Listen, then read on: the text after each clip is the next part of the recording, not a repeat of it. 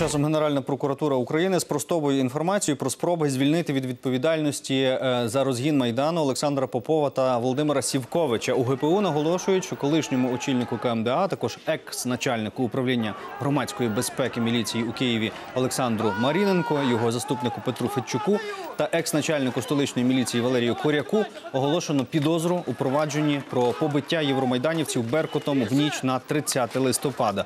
Сівковичу підозру не вручили через хворобу. Нагадаю вам, тоді міліціонери зухвало побили мирних студентів, які протестували на майдані Незалежності. Провину підозрюваних розглядатимуть разом зі справою проти екс-президента Януковича та інших високопосадовців, яким інкримінують масові вбивства. У генпрокуратурі також наголошують на звільнення підозрюваних від відповідальності. Наголошувало колишнє керівництво ГПУ. Сьогодні це клопотання мав розглянути Печерський суд столиці. Утім, засідання перенесли на 26 травня. Олександр Попов, який прибув до суду, усі звинувачення відкидає. Тим часом потерпілі, яких у справі аж 74, звинувачують правоохоронців у затягуванні розгляду.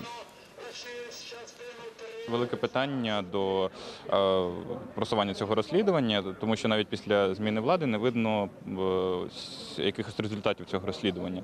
Тобто там о, те, що вони дуже повільно його розслідують. Щоб захистити інтереси потерпілих, суд розглянув це питання і прийняв рішення переглянути цю справу в суді. От сьогодні якраз було призначене засідання, на якому за участю потерпілих повинна бути розглянута ця справа.